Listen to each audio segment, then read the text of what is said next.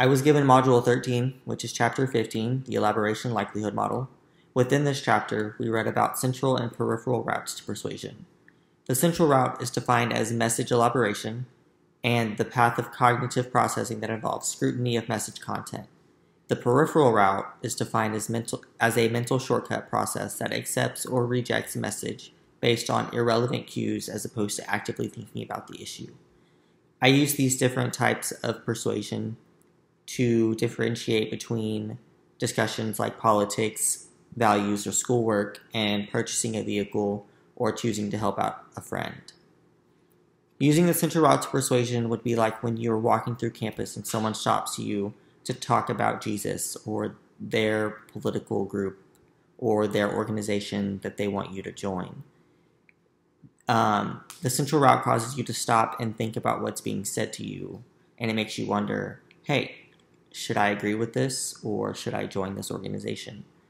These people want you to be, become part of their religion or their organization, and they're going to try and persuade you to change your way of thinking.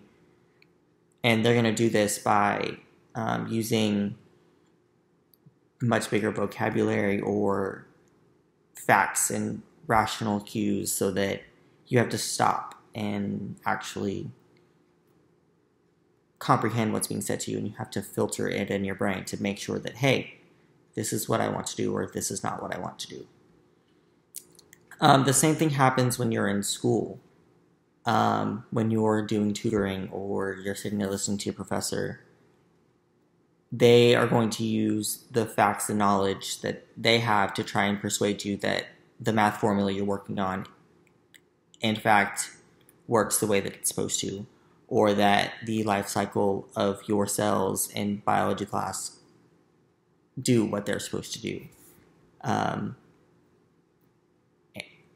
they do that just because on those subjects, you're not just going to believe everything you you hear. You're going to want to mentally diagnose all the information and make sure that you're um, getting all the right and facts and information.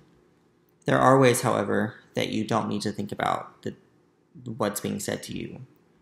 We use the peripheral route for things like peer pressure or buying a car or choosing to help out a friend or um, choosing to do a taste test at the grocery store or uh, people use phrases like everybody's doing it, you owe me, quick before they're all gone, um, or different phrases like that to make you react instantly.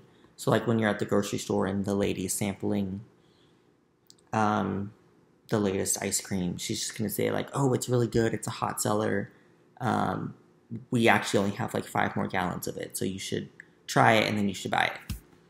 Uh, they do it that so that you don't really have to think. It's just a like the book says, it's a click were kind of thing, and it just kind of goes through the motions.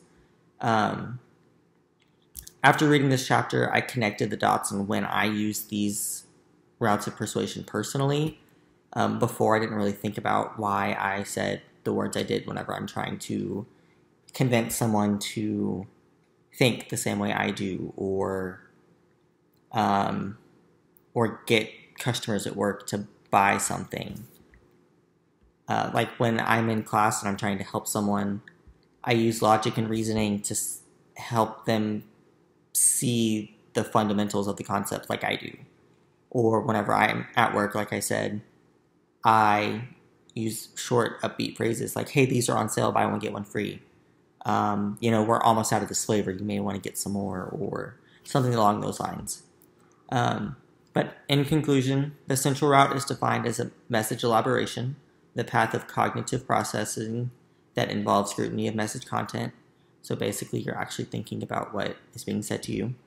And the peripheral route is defined as a mental shortcut that accepts or rejects the message as opposed to actively thinking about it. So at that point, you're just listening to the small phrases that someone's trying to say to you so that you can say yes or no without much thought.